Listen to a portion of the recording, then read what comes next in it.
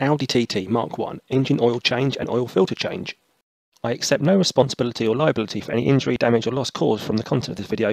Don't forget to check out some of my DIY repair tutorials here on YouTube that may help with some common Audi TT fixes such as CV joints, jacking the car, track rod ends, etc. If you want to jump to the relevant step in the video, please see the timestamps here. Here's a list of tools and parts you'll need to complete this job. The job has a difficulty rating of 2 out of 5. Don't forget to like and subscribe if you find this useful. I find it fairly important to get the car up to temperature before starting an oil change, so take it on a run for about 10 minutes or so before beginning the task. This gives the oil chance to get nice and hot and flow out of the drain plug easier.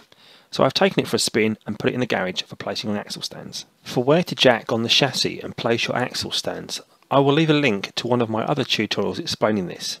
So I would recommend using a trolley jack as shown and a pair of axle stands. With our first look at the underside of the car, you can see there is a plastic tray that covers the bottom of the engine. Handy for aerodynamics, but not so great when trying to access the sump plug and oil filter. We will need to remove this. The aero tray is fixed in place with 12 T20 Torx head screws, so you will need a T20 Torx bit or screwdriver to remove these. You may also notice my under tray has a nasty hole punched through it where the previous owner has taken it a little too fast over speed bumps or similar, this was evidence on the sump itself. It should not affect the aero performance of the car though, so we'll leave it as it is. Additional to the Torx screws are these larger flathead plastic retaining screws either side of the tray. They can be accessed under each front wheel arch towards the front. Now simply slide the aero tray towards the rear of the car and it should come away easily. Here we can see the oil sump that holds the oil reserve for the engine, also shown is the drain plug. This is located at the bottom rear of the sump and needs a 19mm socket to loosen and remove so the oil can drain away. Worth noting, you should have a container suitable to catch up to 5 litres of hot engine oil, so make sure you have your container ready. I'm using an old paint pot with a resealable lid. Also make sure you have plenty of rags available as it can be messy. Keep plenty of pressure on the bolt as you try to remove it. For the last few turns, do this by hand so you're ready to catch the oil. If time is not a factor, I would leave this a couple of hours to drain as much of the old oil out as possible. Make sure you put the sump plug somewhere safe for refitting later. The filter is located in front of the engine block and shrouded in a maze of pipes and tubes. It is accessible from underneath still and fairly obvious when you see it. You should be able to unscrew this using your own hand strength, but if not, wrap a filter removing tool around it and unscrew anti-clockwise. It is a little tight for space under here, so take your time and try to keep the filter upright. It will contain oil still, despite the draining. It unscrews fairly easy compared to most cars I've changed the filter on in the past. Here you can see where the filter mounts onto the car. It has come away nice and cleanly, but worth giving this a good wipe to remove any bits of rubber seal or dirt that may be left behind so you create a good seal when refitting the new filter. The oil filter I'm fitting on my Mark 1 Audi TT Cabriolet 225 engine is the MANN W719-30. I bought mine from Amazon for £6.66 with free next day delivery. It's not going to break the bank this one.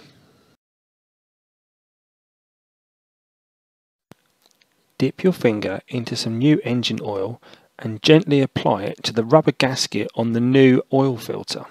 This will help it create a good seal with the car. Next, take the new filter and screw it in as tight as you can clockwise by hand to the filter mount.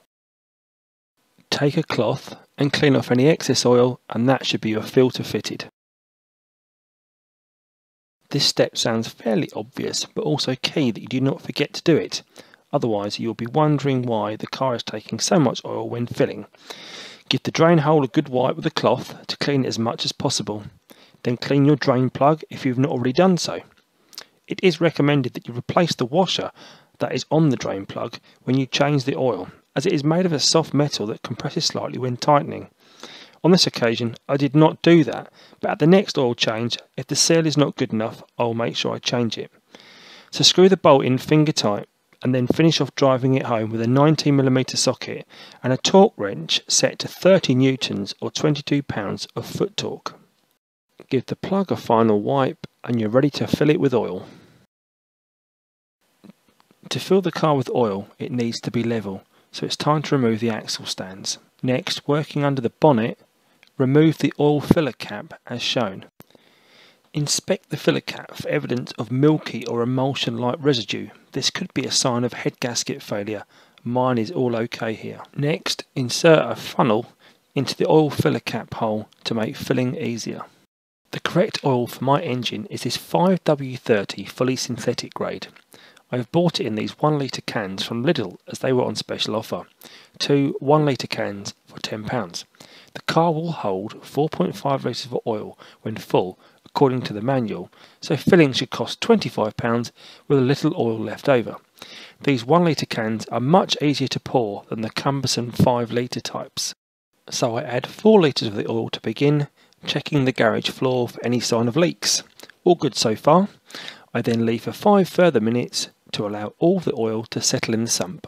After 5 minutes, pull the dipstick out and give it a wipe on a cloth. Check the fill level on the hatched marker at the base, but it will still need to prime the filter. If it is, carefully add another 200 millilitres of oil, replace the filler cap and start the engine.